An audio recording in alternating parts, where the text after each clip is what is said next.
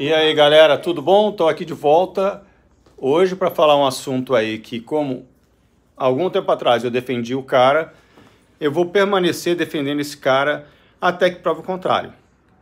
Doa quem doeu, quem quiser achar que sou 171, seja o que for, isso aí para mim não importa não. O que manda é o seguinte, eu anotei aqui, o pessoal fica chamando o Luiz Miranda de pilantra, né? Tá bom, gente. Outro dia aconteceu aqui na minha empresa uma coisa. Um funcionário falou assim, olha, esse lustre aí tá muito sujo, tem que limpar, hein? Ah, tá bom. A moça pegou a escada, subiu, pegou o lustre e começou, para não ter que ficar descendo e subindo, ela foi subindo na escada, limpava uma parte e ia rodando o lustre para limpar todo o lustre ao redor. O que, que aconteceu? E ela ia se segurando, o lustre despencou, porque aquilo é uma rosca. Caiu, o pessoal malhou o pau no rapaz. Pô, seu, seu assassino, pô, tu falou pra mulher subir na escada, aí a mulher caiu, quase que morreu.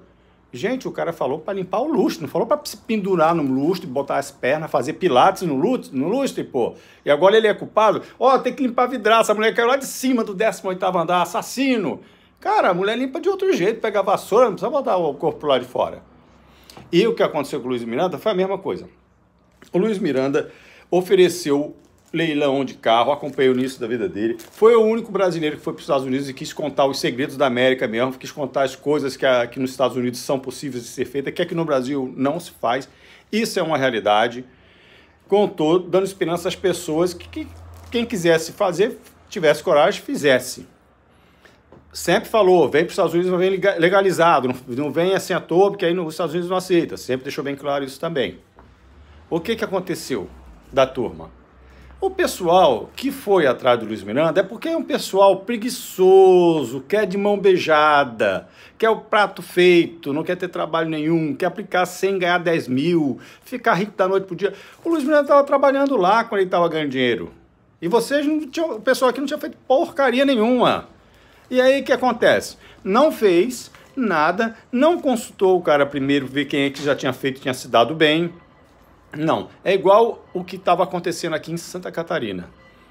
Tinha uma aplicação que você ganhava 25% ao mês. Gente, isso não existe. Não deu outra, tá quebrando. Deu vontade de aplicar? Deu, pô. Eu boto 100 mil hoje, mês que vem estou com 125 mil reais.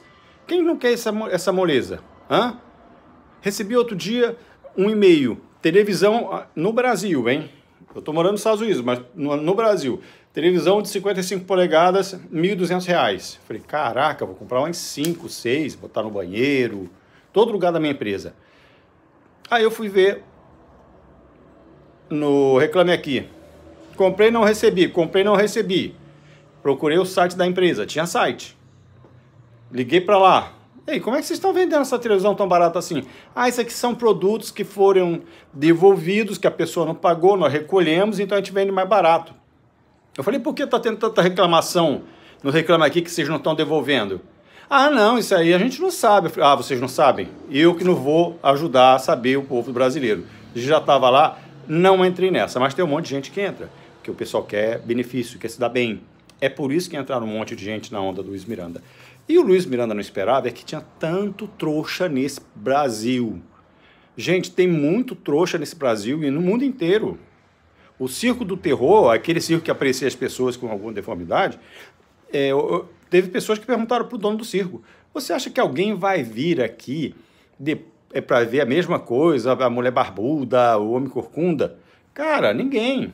Sabe o que, que ele respondeu? A cada minuto nasce um idiota que quer vir aqui. O circo durou 80 anos, só para você ver como é que tem idiota para tudo. Aí o que acontece?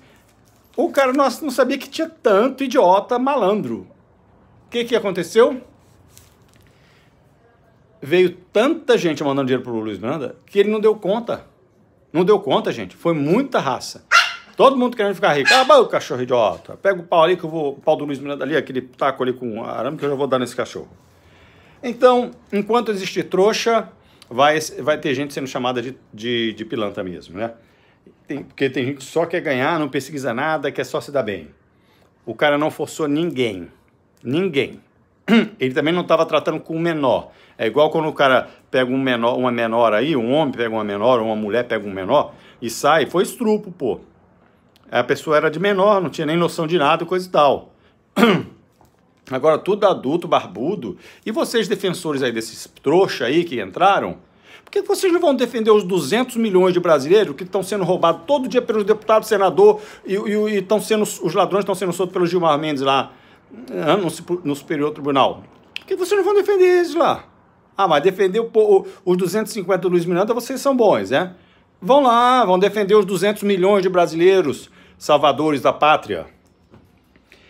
Malhar o pau é bom, vai malhar o pau em, em quem são os poderosos para vocês verem o que, que vai acontecer com vocês. Então, olha, para mim, eu só posso dizer uma coisa.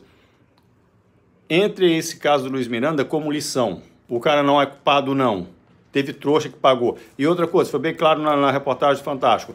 Só com curso, curso também é opcional, você compra o curso se você quiser. 23 milhões de reais ele conseguiu. O que, que vocês acham que é 23 milhões de reais? Quantas telecenas são?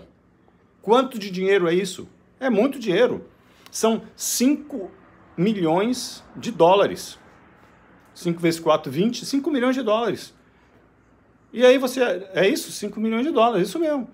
E aí? É isso, produção? É? Tá bom. O pessoal aqui está me informando que é. Então, 5 milhões de dólares é dinheiro pra caraca. Então vamos parar com esse negócio de falar de Luiz Miranda, vamos defender aí o Brasil, que está cheio de gente sendo roubada noite a noite tirando a nossa saúde e segurança, e ninguém fica falando de Gilmar Mendes. Não, tem medo, é? Do Luiz Miranda você não tem. Vai lá pro Senado, ele tá lá em Brasília, falava, vocês falavam assim para ele, por ele botar o pé no Brasil, ele vai ser preso. É o deputado federal. Vai lá falar com ele lá, então. É essa mensagem que eu tenho que dar. Luiz, Milan, Luiz Pilantra, que você chama, para mim não é nada disso, não. Vamos pensar direitinho. Vamos ver quem é o, o, o pivô dessa história aí. Valeu, um abraço aí. E já vou publicar um outro vídeo que é outro assunto que não tem nada a ver com isso aí. É que eu, como eu havia falado bem dele e tem pessoas que malham o pau em mim, dizendo que sou da mesma culpa, eu não sou, nem conheço esse cara, eu vim aqui só dar minha opinião de novo reafirmando: os trouxas é que se ferraram.